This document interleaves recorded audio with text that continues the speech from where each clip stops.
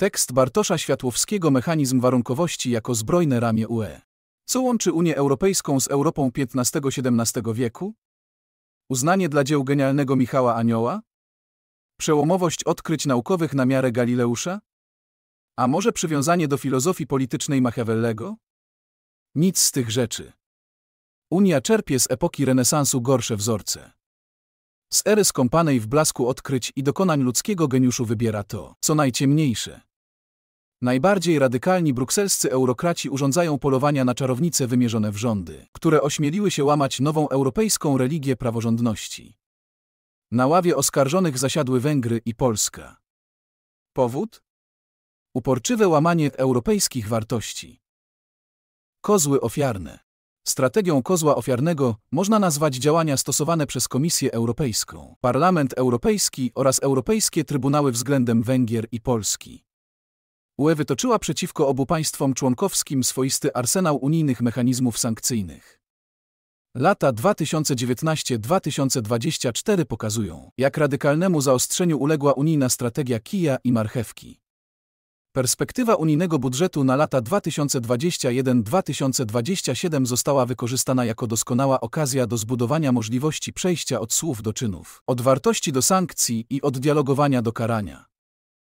UE pod koniec 2020 roku zdecydowała o powiązaniu spraw praworządności z pieniędzmi. Za pomocą dwóch instrumentów rozporządzenia wprowadzającego warunkowość budżetową oraz zaktualizowanej wersji rozporządzenia w sprawie wspólnych przepisów dotyczących funduszy spójności.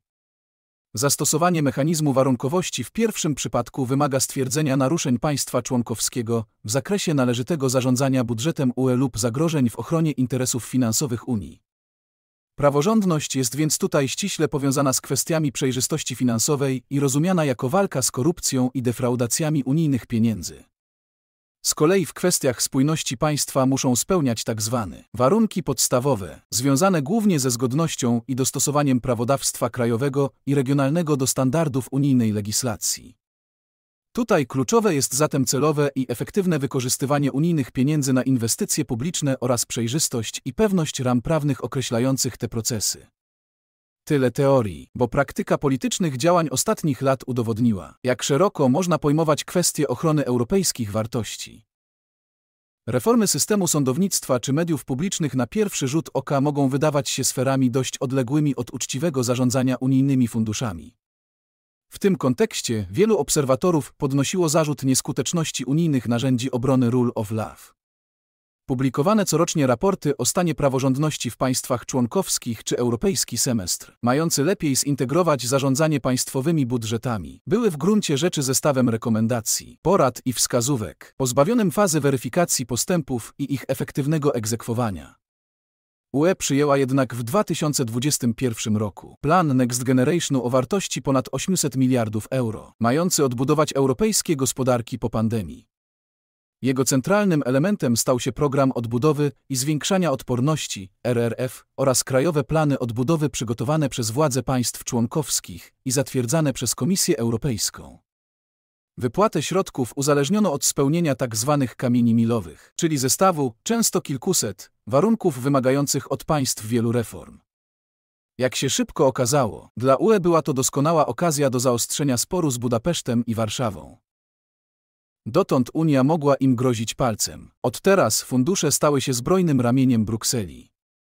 Tryby unijnej maszynerii weszły w obroty uruchomione przez, jak to trafnie nazwał Jan Rokita, impet twardego centralizmu. Unia zablokowała wypłatę funduszy Węgrom i Polsce. Przy czym Bruksela przyjęła wobec Węgier strategię dwutorową. Jednocześnie poddała Węgry procedurze artykułu 7 TFUE oraz mechanizmowi warunkowości. W ramach tego drugiego Komisja Europejska wstrzymała Węgrom środki zarówno pochodzące z funduszy spójności, jak i z popandemicznej odbudowy. W obu przypadkach korzystała z banku wiedzy, jakim dysponowała dzięki corocznym raportom na temat Rule of Law oraz toczącym się przed CE procesom, o których niżej. Można powiedzieć, że Unia wyjęła sankcyjny pistolet, który dotąd chowała w kaburze, a magazynek zaczęła nabijać pociskami zebranymi w toku wieloletnich batalii sądowych. Mimo to dla wielu wciąż są one ślepakami. Spór między Węgrami i Unią Europejską ilustruje ewolucję konfliktu i poszerzanie przez UE środków nacisku. Państwa będące panami traktatów mogą zostać zapędzone do finansowego narożnika.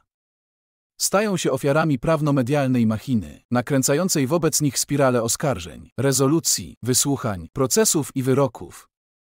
Oczywiście przywódcom takim jak Viktor Orban może to być na rękę. Są w stanie to napięcie zdyskontować w wewnętrznych kampaniach, lawirować w meandrach brukselskich negocjacji i wyciągać z UE kolejne transze środków, bez definitywnego zakończenia sporu. Orban wielokrotnie wykorzystywał swoje brukselskie batalie w kreowaniu mniej lub bardziej realnych triumfów w obronie narodowego interesu Węgier. Konsolidował elektorat. Bruksela dawała mu polityczny tlen. CEO napędzało dynamikę węgierskiego przekazu budowanego wokół wrogich działań brukselskiej eurokracji. A Orban przez lata działał jak płachta na byka. Rozjuszając największych eurontuzjastów, nie mogli oni na przykład wybaczyć EPP, że tak długo trzymała Fidesz we własnych szeregach. Formalnie komisja uzasadniała zawieszenie środków systemową niezdolnością, niepowodzeniem lub niechęcią ze strony władz węgierskich do zapobiegania decyzjom naruszającym obowiązujące prawo w odniesieniu do zamówień publicznych i konfliktów interesów, a tym samym do odpowiedniego przeciwdziałania ryzyku korupcji. Bruksela nakazała Węgrom spełnienie 27 superkamieni milowych, jako warunku koniecznego do uwolnienia wielu miliardów euro, w sumie około 30 miliardów euro, co stanowi jedną piątą węgierskiego PKB. Wśród superkamieni znalazły się takie zagadnienia jak polityka azylowa czy ochrona praw osób LGBT. Komisja nie dała się w pełni przekonać pomimo wcześniejszych starań węgierskich władz, które przyjęły ustawodawstwo dotyczące poprawy walki z korupcją, między innymi poprzez powołanie antykorupcyjnej grupy roboczej czy przyjęcie antykorupcyjnej strategii kontrolowania wydatków z perspektywy finansowej 2021-2027. Trzeba pamiętać, że zaostrzenie konfliktu nastąpiło w specyficznym dla Europy momencie. Węgry po kryzysie migracyjnym z 2015 roku przyjęły prawo, które ograniczyło funkcjonowanie organizacji pozarządowych, penalizowało pomoc dla osób ubiegających się o azyl w ramach walki z nielegalnym przepływem migrantów i reorganizowało szkolnictwo wyższe. Komisja wszczęła wówczas przeciwko Budapesztowi kilka postępowań w sprawie uchybienia zobowiązaniom państwa członkowskiego przed CUE. To jeszcze nie był osławiony artykuł 7, nazywany buńczucznie opcją nuklearną, ale preludium do wieloletnich sporów prawnych i kompetencyjnych. SUE wydawał niekorzystne dla Węgier wyroki i nakazywał zmiany w zaskarżonym ustawodawstwie krajowym. Na ogół bez skutku, bo władze nad Dunajem mogły do pewnego stopnia ignorować te decyzje.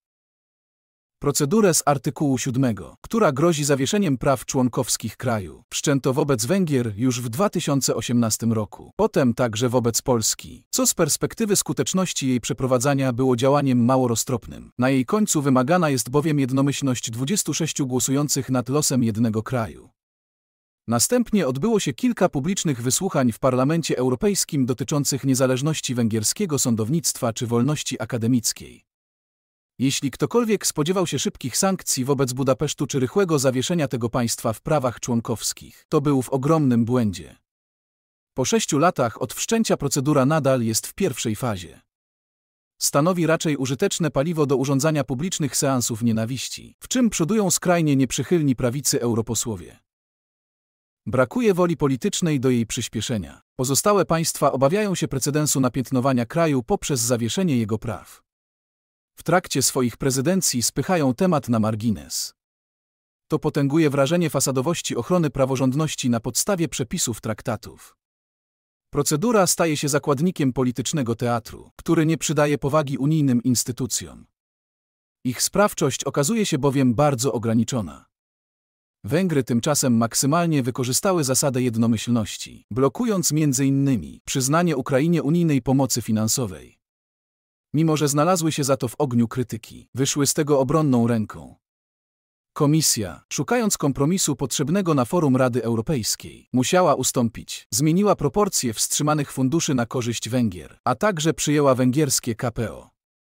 Wszystko to wobec państwa, które w ocenie Brukseli wciąż nie wywiązuje się z postawionych mu zadań w zakresie ochrony europejskich wartości. Co ciekawe, w pewnych aspektach stanowisko Węgier bywało bardziej kompromisowe niż Polski. Było tak choćby w sporze kompetencyjnym z CUE. Trybunał w Luksemburgu uznał w grudniu 2020 roku, że węgierskie prawo dotyczące tranzytowych stref azylowych zorganizowanych na granicy serbsko-węgierskiej jest sprzeczne z przepisami unijnymi. Węgierski rząd wniósł do swojego Trybunału Konstytucyjnego sprawę o zbadanie zgodności orzeczenia TSUE z węgierską ustawą zasadniczą. Czołowy organ sądowniczy na Węgrzech miał rozsądzić, które prawo jest ważniejsze. Wykazał się jednak zaskakującą wstrzemięźliwością w tej kwestii.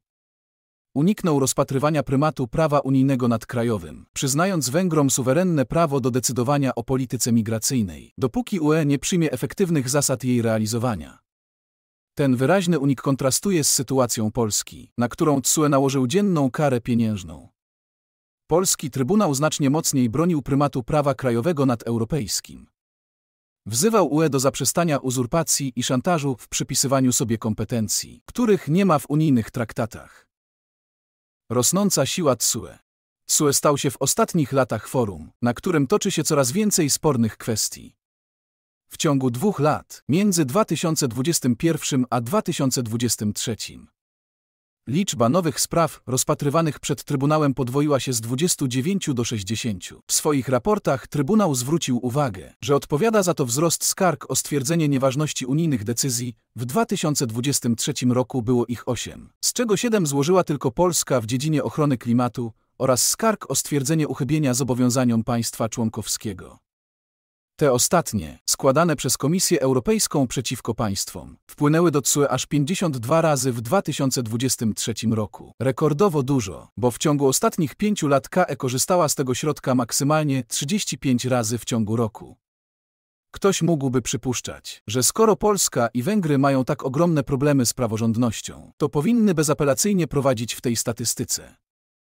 W samym 2023 roku najwięcej tego rodzaju skarg adresowano jednak wobec Bułgarii 9. Polska i Węgry były wzywane do wypełnienia swoich zobowiązań członkowskich tyle samo razy co Portugalia 4 i niewiele więcej od Niemiec, Włoch, Malty i Słowacji po 3. Dane z ostatnich pięciu lat potwierdzają to, że liczbowo kazus polski i węgierski nie odstają wyraźnie od innych.